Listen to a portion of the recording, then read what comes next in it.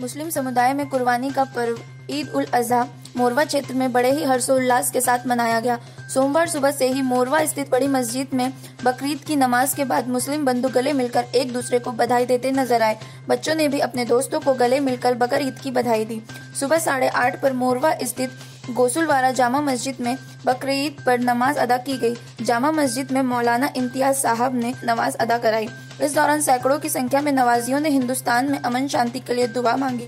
نماز کے بعد سبھی لوگ ایک دوسرے کو گلے مل کر بقر عید کی مبارکباد دیا۔ سامعین محترم غوث الورا جامع مسجد سے مولانا امتیاز اس بات کی شہادت دیتا ہے کہ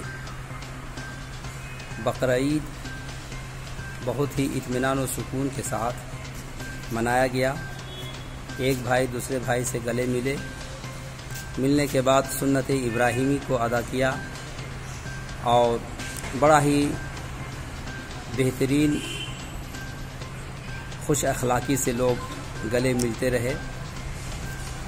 بڑا ہی اطمینان و سکون کے ساتھ غوث الورا جامع مسجد میں دوگانہ نماز عید الاضحیٰ کی ادا کی گئی۔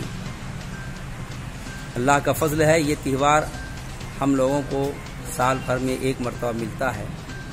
اس سال اسلامی بھائی بڑا ہی اطمینان و سکون کے ساتھ بقرعید منائے۔